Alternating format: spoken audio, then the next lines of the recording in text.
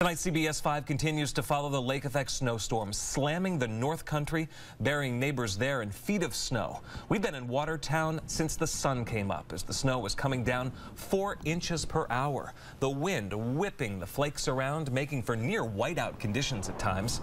A lake effect snow warning is still in effect until 3 o'clock tomorrow in Jefferson, Oswego, Lewis, and northern Herkimer counties. CBS 5's Kellie Cowan continues our coverage tonight. She's with the Live Eye up north, getting blown around, this can't be pleasant, Kellie. No, it's certainly not. And I don't know what I did to our photojournalist, Trevor Payan, but he has me facing directly into all of this right now. Believe it or not, this is better than it was about a minute ago. But I tell you, Michael, thank goodness for waterproof mascara and eyeliner right now. Now, the story going on in Watertown, Adams, Northern Oswego County, it's a four-letter word. It's not snow, it's wind. As you can see already, it's not only, the snow's not only coming down and making visible visibility very poor on the roadways, but it's also whipping up everything that's already fallen. We've seen traffic lights knocked out, nearly knocked down, as well as that low visibility. It's making the roadways extremely hard to navigate. At some points as we traveled north, visibility was down to about uh, three feet in front of us. Earlier today, we caught up with a man from Toronto who's had quite a journey so far today trying to get home. He began this morning in New Jersey. He's been trying to get home ever since. Part of his journey should have taken taken him through Buffalo.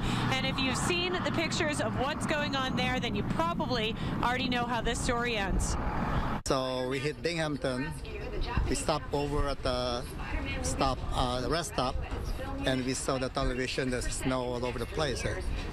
So the, the info told me Highway 90 is closed. You cannot go through Buffalo. But I still went through the 90. That's my normal route. So when I pick up the ticket, they said Buffalo's closed. You cannot get through it. By the time I get a chance to turn around, it's like 30 miles, right? So I turn around back to Syracuse and 81, and here I am. Now, I know I look like quite a show right now with all of this going on here, but I wish we could turn this camera around right now. Our photojournalist, Trevor Payan, has one hand on the camera, one hand on our live unit, just trying to keep everything hunkered down in this wind, which is just so strong, as I mentioned, making things extremely tough on the roadways. And, Michael, we got to get back on those roadways very soon so we can get home safe. So I'm going to send it back to you in the studio. But for now, reporting from Watertown, I'm Kellie Cowan. All right, Kellie, safe drive home. This is one of the top stories on the CNY Central mobile app. You can get the news of the day, the latest track on those lake snow bans, and any closings or delays that come to us in the morning on the CNY Central mobile app.